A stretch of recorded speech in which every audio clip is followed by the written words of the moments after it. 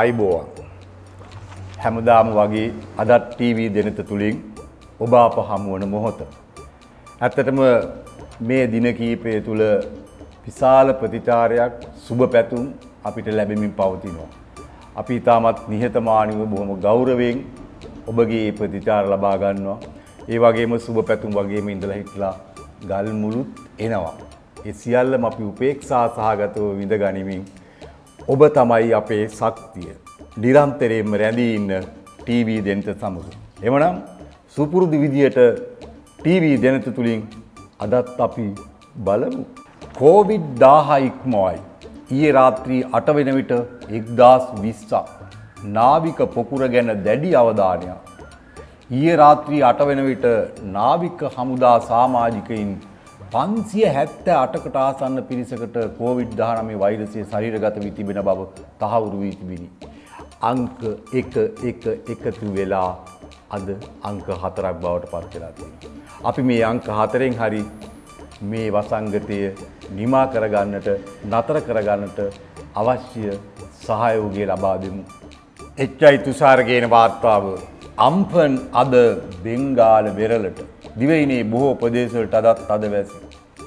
සුබා දහමට නොවන අවනත ලොවේ කිසිවක් නෑ. ඒ ගැන තමයි අපිට කියන්න වෙන්නේ.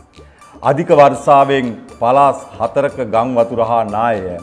රත්නපුරේ ස්ථාන දෙකක පස් කඳු කඩා වැටිමින් කුඩා දරුවෙක් කාන්තාවක් ජීවිතක්සේද. කාල ගුණේ ගැන නිවේදන සැලකිල්ලට ගන්න කියලා අපදා කළමනා කරන මධ්‍යස්ථානයේ වාර්තා කරනවා ඉන්දික හේවා විතාන තමයි මේ වාර්තාව ගේන්නේ. අපි කාලගුණේ ආපදා කළමනා කරන මධ්‍යස්ථානයේ කාලගුණ දෙපාර්තමේන්තුව ලබා දෙන තොරතුරු පිළිබඳව අවධානයක් යොමුණු කිරීමෙන් අපිට බොහෝ දේවල් වලට මුහුණ දෙන්න සිදු වුණා. ඊළඟට බුද්ධිමාල් රුමේරු ගේනවා කෝටි දෙකක් අල්ලත් ලබා ගැනීමේ සිද්ධියට වරදකරු දැව සංස්ථා හිටපු සභාපතිට ඇප නියම කිරීම ප්‍රතික්ෂේප වේ. පෞගේ දවස්වල එතුමාර ඇප ඉල්ලීමක් කරලා තිබ්බනේ අධිකරණයෙන් අන්න ඒක ප්‍රතික්ෂේප කරලා. සාමය උදා කර දුන් රණවිරුවන්ට හිමිතැන හා ගෞරවේ නැති කිරීමට කිසිදු ඉඩක් ලබා දෙන්නේ නැහැ. ජනාධිපති ගෝඨාභය රාජපක්ෂ මහත්මයා ඊයේ 11 වසරක යුද මෙහෙවරේ සැමරුම් උලෙලෙදි තමයි බොහොම තදින් ප්‍රකාශ කරලා තියෙනවා. හිමිතැන හා ගෞරවේ රණවිරුවන්ට නැති කරන්නට කිසිදු ඉඩක් ලබා දෙන්නේ නැහැ. අනිවාර්යයෙන් මේ සිදුවේ යුතුයි අපි රණවිරුවන් ආරක්ෂා කළ යුතුයි. රණවිරුවෝ අපිව ආරක්ෂා කළා නම් අපේ යුතුකම. ඔවුන් ආරක්ෂා ඊළඟට එච්චයි තුසාරගේන වාර්තාවක් ඔන්න මහින්ද සමරසිංහ මහත්තයා අපේ හිටපු ඇමතිතුමා ශ්‍රී ලංකා නිදහස් පක්ෂයේ දොරෙන් එළියට දාලා. පක්ෂ සාමාජිකත්වයෙන් හා තනතුරුවලින් ඉවතට. හරි ඇතුළේ ඇති ගැටලු නේද. දැන් මෛත්‍රීපාල මහත්තයනේ අපේ සභාපතිතුමා දාපන් ඕක එළියට කිව්වත් දන්නේ කොහොම හරි මහින්ද සමරසිංහ ශ්‍රී ලංකා නිදහස් පක්ෂයෙන් ඉවතට. හෙට අනිද්දා වෙනකොට අපිට බලාගන්න පුළුවන් තව හොඳ හොඳ දේවල් දැන් මැතිවරණයේ ප්‍රකාශයට පත් වෙලා වැඩ පටන් ගත්තාම නේද? ඊළඟට කෝවිඩ් මැද්දේ ශ්‍රී ලංකා නිදහස් පක්ෂයේ මැතිවරණ ප්‍රචාරක කටයුතු ඇරඹීමේ තීරණයක්. එච්චයි තුසාර තමයි වාර්තාවගේ. කෝවිඩ් 19 සෞඛ්‍ය උපදෙස් වලට අනුව අඩු පිරිසක් යොදාගෙන මැතිවරණ ප්‍රචාර කටයුතු කිරීමට පක්ෂයේ මධ්‍යම කාරක සභාව තීරණය කළ බව ශ්‍රී ලංකා නිදහස් පක්ෂය සඳහන් කරයි. කට්ටියටම කලින් වැඩේ පටන් ගන්නයි යන්නේ. හැබැයි ඉතින් ওই වැඩේ පටන් ගන්නකොට මේ කොරෝනා කෝවිඩ් වසංගතය අපිට මොන ආකාරයට බලපෑම් මෙල්ල කරයිද දන්නේ නැහැ. ඒකයි මං කිව්වේ සුභා දහමට නොවන අවනත ලෝවේ කිසිවක් නැහැ. ඊළඟට ඔන්න බලන්නකෝ නවෝද්‍යා පවනි ගේන වාර්තාව අපේ සමගි ජනබේවල වේගේ නායක හිටපු විපක්ෂ නායක සජිත් ප්‍රේමදාස මහත්තයා කියනවා වත්මන් රජයේ අවශ්‍යතාවය හඳුනා නොගනිමින් කොමිස් ලබාගත හැකි ව්‍යාපෘති ක්‍රියාත්මක කරමින් සිටිනවා. සජිත් ප්‍රේමදාස මහත්තයා තමයි කියන්නේ. ඉතින් එක එක්කිනා එක එක විදිහට මේවා දකින්න ඔය පහුගිය කාලෙත් ඔය කොමිස් කතන්දරේ නම් අපේ මේ ආණ්ඩුව පහුගිය කාලේ තියෙනකොට එක එක්කිනාගෙන් චෝදනා එල්ල වුණා. ඉතින් කොමිස් ගහන්න ඕන දේවල් තමයි කරන්න කියලා. අපි දන්නේ ඇති මේ බලධාරීන් මොන මොන වැඩ කටයුතු වල යෙදෙනවද මොන මොන පරමාර්ථ මේ වගේ තියෙනවද කියලා අපිට තේරුම් ගන්න බෑ. වාහන බලපත් එක්දින සේවාව හැර සෙසූ සේවා අද සිට යළි ආරම්භ කරයි. නවෝද්‍යා පවන කියන වාර්තාවක්. වාහන බලපත්‍ර නිකුත් කිරීමට අදාළ එක්දින සේවාවන් හැර මෝටර් රථ ප්‍රවාහන දෙපාර්තමේන්තුව විසින් ලබා දුන් අනෙකුත් සියලු සේවාවන් අද දින ආරම්භ වන බව මෝටර් රථ ප්‍රවාහන කොමසාරිස් ජෙනරාල් සුමිත් අලහකෝන් මහතා පැවසුයි කියලා තමයි තියෙන්නේ. ඔන්න බලන්නකෝ මේ කාලය හැමෝටම බොහොම අපහසුතාවයන් ගෙනත් තියෙන කාලයක්. පෙර පාසල්ලා ගුරු සහායිකාවන් පන්දාහකට සහනයක් නෑ ඉන්දික හේවා විතරණ ගේන්නේ. ඒගොල්ලන්ට අර සහනය ලැබිලා නැතුව වගේ මට හිතෙන්නේ. පෞද්ගලික වශයෙන් පවත්වාගෙන යන පෙර පාසල්වල ඉගැන්වීම් කටයුතු කළ ගුරුවරුන් හා ගුරු සහායිකාවන් 5000කට පමණ සහන සැලසීමට රජයේ කිසිදු වැඩපිළිවෙලක් ක්‍රියාත්මක නොකිරීම නිසා ගැටලු රාශියක් නිර්මාණය වී තිබෙන බව එම පිරිස පෙන්වා දී. අර සහනය ලැබිලා නෑ වගේ. අපේ බලධාරීන්ගේ අවධානය පොඩ්ඩක් මේ අපේ පෙර පාසල් ගුරුතුමියන් වෙතත් යොමු කරනවා නම් හොඳයි කියලා ඉල්ලනවා. නාඩු සහ සම්බාසාල් හිඟයක් ඇතිවීමෙන් තිබෙන ඉන්දික හේවා විතරණ තමයි වාර්තාව වෙන පාරිභෝගික අයිතීන් සුරකීමේ ජාතික ව්‍යාපාරය. පහුගිය දවස්වල දැන් අපිට මාස 6කට 7කට ඇති වෙන්න මේ සහල් තියෙනවා කියලා කියුණානේ. දැන් මේ කියන්නේ මොකද නාඩු සහ සම්බාසාල් හිඟයක් ඇතිවීමෙන් තිබෙනවා කියලා. මේ ගැන පොඩ්ඩක් බලන් වෙනවා නැත්තම් අපේ හමුදාවට බාර දෙන්න වෙයි වැඩේ. ආ අපේ හිටපු ජනාධිපතිතුමත් දැන් පොඩි පොඩි ප්‍රකාශ වලින් ඉදිරියට එන බවක් පේනවා. පාර්ලිමේන්තුව නොමැති රටකට ඉදිරියට යාමට නොහැකි හිටපු ජනාධිපති මෛත්‍රීපාල සිරිසේන මහත්තයා තමයි මේ කියන්නේ. දැන් මේ අවුරුදු 70ක් තිස්සේ පාර්ලිමේන්තුව තිබිලා අපි දැන් ඉදිරියට ගිහිල්ලාද ඉන්නේ. දැන් මෙතුමත් දැන් මේක අවුරුදු 5ක් තිස්සේ පාලනයක් ගෙනිච්ච යන්නේ පාර්ලිමේන්තුවත් එක්ක. කොහෙද ගියේ ඉදිරිය? අනේ තාමත් අපි තුන්වැනි ලෝකයේ දියුණු වෙමින් පවතින රට. මේ මේ මේ පිරිස තමයි මේ සියල්ලම අපිට කරලා තියෙන්නේ. අපි අපේ යුතුයකම හරියට කරාට පාලකයෝ නිරන්තරයෙන්ම මේක හොරා කාමින් ගසා කමින් රට විනාශ කරනවා. දැන් කියනවා පාර්ලිමේන්තුව නොමැති රටකට ඉදිරියට යාමට නොහැකි. මේ මේ පාර්ලිමේන්තුව දැන් ඉක්මනට මැතිවරණ තියලා පත් කරගන්න නැත්නම් රටේ ප්‍රශ්න විසඳ ගන්න බෑනේ. ඊළඟට අපි යොමු වෙනවා දිනමින පුවත්පතට මහින්ද අලුත් ගෙදර තමයි මේ වාර්තාව ගේන්නේ. ශ්‍රී ලංකාවට අන්තවාදී තර්ජන නෑ. ආරක්ෂක ලේකම් මේජ ජෙනරාල් කමල් ගුණරත්න මහත්මයා තමයි සඳහන් කරන්නේ. ඔබතුමාලා ඉන්නකම් තර්ජන නැති වෙයි කියලා අපි බලාපොරොත්තු වෙනවා. මොකද ඔබතුමාලා හමුදාවේ ඉහළ නිලතල දරමින් තමයි අද රට බාර අරගෙන තියෙන්නේ. ඒ ගැන අපේ ප්‍රණාමය. ඊළඟට ගයාන් කුමාර වීරසිංහ ගේන වාර්තාවක්. පොලිසියේ ඒකක තුනක පුටු වෙනසක්. මොකද දන්නේ පුතු වෙනස වෙන්නේ. මැතිවරණයක් එනවා පුටු වෙනස් කරලා බලාගෙන මැතිවරණ කොමසින් සභාවේ සභාපතිතුමත් බලාගෙන ඉන්නවා මැකෝ. වෙන්නේ මොකෝ කියලා. ඊළඟට අපි යනවා තවත් පිටුවකට ඔන්න බලන්න අපිට මහින් දළුත් ගෙදර ගේන වාර්තාවක්. ඕස්ට්‍රේලියාවෙන් දැඩි සත්කාර ඒකකවලට ඉලෙක්ට්‍රොනික් ඇඳම් 54ක පරිත්‍යාගයක් කරලා තියෙනවා. මේ ඡායාරූපත් සමග තියෙනවා. ඇඳම් පරිත්‍යාග කිරීම අපේ අග්‍රාමාත්‍යතුමත් ඒ ස්ථානයේ රැඳී සිටිනවා. බොහොම පින් ඔබතුමන්ලට කියන්න තමයි ඉතින් අපිට තියෙන්නේ. අපේ රට දිහා බලනවට අපිට උදව් උපකාර කරනවට. ඊළඟට තවත් වාර්තාවක් ගේනවා දිනමිනේ අපේ මේ මේ මේ නුවන් කොඩිකාර තමයි වාර්තාව ගෙන ඩිලාන් පෙර මහත්යත් මේ දවස්වල පොඩි පුවත් මවන්නෙක් බවට පත් වෙලා ඉන්නවා. එදත් ඉතින් පුවත් මැව්වා. පුවත් මවනවා විතරයි ඉතින් ඒගොල්ලන්ගේ වැඩ නම් අපිට පේන්න තියෙන බවක් පේන්නේ නැහැ. මේ බලන්නකො කියන දේ ඉන්දීය සමාගමට තෙල් මිල වැඩි කරන්න බලය දුන්නේ එජාපයයි. හිටපු පාර්ලිමේන්තු මන්ත්‍රී ඩිලාන් පෙර මහත්තයා එතකොට අපි හිතන ආණ්ඩුව නෙමෙයිද දැන් තියෙන්නේ. තාම UMP ආණ්ඩුවද නැත්තම් ඉතින් තෙල් මිල වැඩි කරන්න කොහොමද? එජාපේ බලය දෙන්නේ මේ සමාගමට ඉන්දියන් සමාගමට. මේව නම් මොන විකාර කතාද කියලා අපේ ඔළුවත් මඤ්ඤං වෙනවා. නැද්ද? ඊළඟට ඔන්න බලන්න ආදරයේ පිළිබඳව ගැටලුවක්. ඒ ආදරය කියන එක අම්මට තාත්තට දරුවන්ට සහෝදර සහෝදරියන්ට හැමදෙනෙකුටම පොදු න්‍යායක්. කුරුණෑගල විශේෂ අතුරුපී බණ්ඩාරනායක කියන වාර්තාවක්.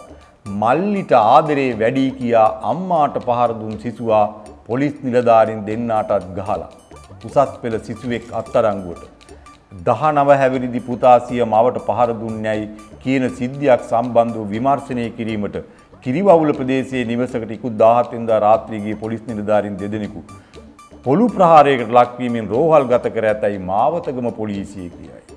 මෙසේ තුවාල ලබා කුරුණෑගල ශික්ෂණ රෝහලට ඇතුළත්ව ප්‍රතිකාර ලැබුණේ මාවතගම පොලිසියේ උප පොලිස් පරීක්ෂකයෙකු හා පොලිස් කොස්තාපල්වරයෙකු බව පොලිසිය කියයි. මේ උසස් පෙළ හදාරන 19 හැවිරිදි සිසුවාව අත්අඩංගුවට අරගෙන තියෙනවා. ආදරය පිළිබඳව ගැටලුවක්. ඊට අනතුර මම හිතන්නේ මේ දරුවට මේක මානසික පීඩනයක් වෙනවා. ඒ පීඩනේ තමයි මේ පුපුරලා තියෙන්නේ මල්ලිට ආදරේ වැඩි කියලා අම්මට පහර දීලා තියෙනවා. ඒ පීඩනේ තමයි අපේ විමර්ශන කටයුතු වලගේ නිලධාරීන්ටත් මුහුණ දෙන්න වෙලා තියෙන්නේ. අපි මේ ගැන පොඩ්ඩක් හිතලා බලන්න වටිනවා. එහෙම නේද? ඊළඟට අලුත් අලුත් සෙල්ලම් ටික ටික ආයෙත් එළියට එනවා වගේ. පුත්තලම හිරියාම් ප්‍රියංකර ජයසිංහ සහ පුත්තලම රෝවන් පෙරේරා තමයි වාර්තා කරන්නේ. පුත්තලමේ කතෝලික දේවස්ථාන දෙකක සුරුවම් වලට ප්‍රහාරයක්. පුත්තලම නගරයේ කතෝලික දේවස්ථාන දෙකක සුරුවම් දෙකකට ප්‍රහාරයක් එල්ල කර ඇතැයි පොලිසිය කියයි. අර පහුගේ කාලයක් තිබ්බා අපේ බුදු පිළිම වලට ප්‍රහාර එල්ල කිරීම. දැන් ඒකේ දෙවෙනි අවස්ථාව තමයි සුරුවම් වලට ප්‍රහාරයක්. අපේ ආරක්ෂක අංශ මේවා ගැන බලයි. නමුත් මේ කරන අන්තවාදීන්ගේ කටයුතු මේවා ජාතිවාද ආගම්වාද ඇති කිරීමේ මූලික අඩිතාල මධ්‍ය කියලා පොඩ්ඩක් අපිට හිතන්න වෙනවා. මේ බලන්නකෝ ආදානාගාරයේ ගෑස් වලින් සොහොන් බිබේ කසිප්පු පෙරලා. කන්තලේ සුසාන භූමියේ සේවක තිදෙනෙකු ගැන විමර්ශන. ආදානාගාරයේ ගෑස් වලින් තමයි කසිප්පු පෙරලා තියෙන්නේ. ආයිති මිනිියක් ගේනකම් කවුරුත් ඔතන්ට යන්න ෑනි වැඩේ නියමට කරගෙන ගිහිල්ල හැබැයි වැඩේ දැම් පත්තු වෙලා. ඊළඟට ලංකාදීප පුවත්පතේ ලෝවාටා. ට්‍රම්ප් මහත්තය හැමදාම මොනොහරි පුවතක් ගේනවා. අද කියනවා වෛරසයෙන් බේරෙන්න්න මැලේරයා පෙත්ත බොනවා ජනපති ට්‍රම්ප් කියයි. ඒකන අර මුකවාඩන් එම දාන්න ඇත්ති ඒකෙන් බේරෙන්ඩ මැලේරිය පොත් පෙත්ත බොනවාගේ. බීගෙන බීගෙන යන්නකෝ එක්කෝ මැලේරියා හැදෙයි එක්කො කොරෝනා හැදි. එම නැත්තං බෝම නිදාසේ සතුටින් ජීවිතය ගෙවයි. අපි බලායිම මොකද වෙන්න කියලා. ඊළඟට විනීතායම් ගමගේ වාර්තා කරන වාර්තාව ලංගමයෙන් කාර්යාල ප්‍රවාහන සේවයක් රාජ්‍ය සේවයන්ට පමණයි. ලංගමින් කාර්යාල ප්‍රවාහන සේවයක් ඇති කරනවා කියලා තියෙනවා. ඒක බොහොම හොඳ වැඩසටහනක්. මොකද රජයේ නිලධාරීන්ට රජයේ සේවකයින්ට ප්‍රමුඛතාවය දෙන්න ඕන කාර්යාලය රාජකාරී සඳහා වෙලාවට කලට වෙලාවට වාර්තා කිරීම. ඒ සඳහා ලංගමින් කාර්යාල ප්‍රවාහන සේවයක් ලබා දීම බොහොම වටිනවා හැබැයි ඒක දිගටම පවත්වාගෙන යන්න වගකීම බලා ගන්න කියන එක තමයි ඉල්ලීමත් කරන්න ඕන. තවත් වාර්තාවක් ගේනවා. මේක වාර්තාවකට වඩා බොහොම සුන්දර අදහසක් සුන්දර සිතුවිල්ලක් නවරැල්ල ලංකාදීපේ කවි පිටුවේ මෙන්න මෙහෙම කවි දෙහකට අපේ අවධානය යොමු වුණා. පියසිරි අජිත් ලියනගේ දික්වැල්ලි ඉඳලා ලංකාදීපයට එවලා තියෙන කවි නිසඳෙසක්. කොරෝනා චන්දෙට කරනකොට මෙවර නම් යෝජනා හොඳට බැලුවොත් හොඳා ඇද්දැයි කොරෝනා. රටේ නිසි යහපතට නිබඳ සෙත ගෙනා අපි මලත් ඔවුන් ටික රැකගන්න ඕනෑ. අපි මලත් ඔය අපේ අපේක්ෂකයෝ ටික අනේ රැකගණ්ඩ ඕන. එක තමයි අපේ පියසි රජිත් ලියනගේ කොරෝනා කියන කවි පෙළින් ඉදිරිපත් කරන්නේ. ඊළඟට බොහොම සුන්දර ආදරණීය හැඟුම් ඇති කරන කවි සිතිවිල්ලක් අමුණුගොඩ කුසුමා පේමරත්න අපේ කුරුණෑගල ඉඳලා තමයි මේ කවිය යවලා තියෙන්නේ. වැස්ස. මොනතරම් සුන්දරද මේ අලුත් වැස්සාද. එක කුඩේ යටින් අපි එක්කගෙන යන මහිම. හරිම පුංචි පද පෙළක විශාල ගැඹුරක් බොහොම අ, වටිනා අදහසක් ආදරණීය හැඟුමක් ඇතුළත් කරලා තියෙනවා. මොනතරම් සුන්දර මේ අලුත් වැස්ස.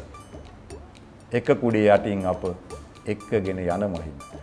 අ, මහින්ද නිස්සංකගේන වාර්තාවක් පොඩි හුටපටයක් වෙලා ඔය පෙම් පනිවිඩ එහාට මෙහාට යවනකොට ඒවා අතර මේ රාජකාරි ගැටලුත් මතුවෙලා සුදු ඔයා හෙට වැඩට එන්න. තරුණියගේ කෙටි පනිවිඩයෙන් දුම්රිය නිල්ධාරීන්ට මල් හිනා. සේවයට වාර්තා කරන ලෙසට ආයතනයෙන් එවා තිබූ කෙටි පනිවිඩය හා දුම්රිය දෙපාර්තමේන්තුන් එවූ කෙටි පනිවිඩය වෙනුවට තම පෙම්වතා වූ කෙටි පනිවිඩිය දුම්රිය ආරක්ෂකාන්තයට පෙන් වූ තරුණියක් පිළිබඳව වේයන්ගොඩ දුම්රිය ස්ථානයෙන් පෙරේදා වාර්තා විය. උට පට ගොඩයි. අපි බලමු එහෙමනම් කාටූන්. විස්තර පත්තරේ පංකජ රුවින්දගේ සරදම් කාටුනේ ලංකාදීපේ මේ වෙලාවේ තවත් ක්‍රිකට් පිට්ටනියක් මොකටද සර් අපේ ජනතාව අහනවා දේශපාලකතුමාගේ. වැලේ ගෙඩි වැලට බර නෑ බං. වැලේ ගෙඩි ඉතින් වැලට නෑ බර නෑ කියලා අපි දන්නවා. ඒ වුණාට මේක අපිට රටට බරක්. ළඟට තිස්ස හේවා විස්සගේ හිනා වැස්ස.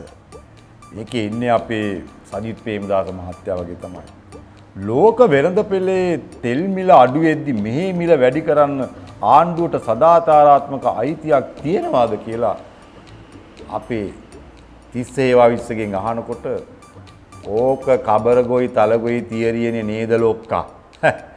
හැම කොන්දේසියකටම යටත් වෙලා සෙට් ටික දුන්නේ මේ ආණ්ඩුවද? ආන්න දැන් තමයි අතීතේ පොඩ්ඩක් මතක් කරලා දෙන්නේ. මේ ආණ්ඩුවද සෙට් ටික දුන්නේ කියලා අහනවා. ඊළඟට අපි යනවා දාස හපුවලානගේ සුවාරිස් කාටුනේට. ඒත් සජිත් ප්‍රේමදාස මහත්තයා තමයි ඉන්නේ. අපිට පේන විදියට හිතෙන විදියට ආණ්ඩුව වැරදි පාර ගියොත් අපි පාරට බහිනවා. එතුමා එහෙම කියනකොට අපේ ඡන්දදායකයා කියනවා සෑර්ලා කෝක වෙතත් සෑර්ලගේ පාක්ෂිකයෝ නම් සෑහෙන කාලෙකින් ඉඳන් මහපාරේ. සර්ලගේ පාක්ෂිකයෝ ටික නම් දැන් සෑහෙන කාලෙක ඉඳලා මහපාරේ. ලංකාදීපේ තරංගම තලන්ගේ ඒතුමා ඔන්න අපේ චන්දදායකයා කියනවා. මේ රනිල් කියනවා ආණ්ඩුවේ මිලියන දෙසියක සල්ලියත්තු ගහලලු.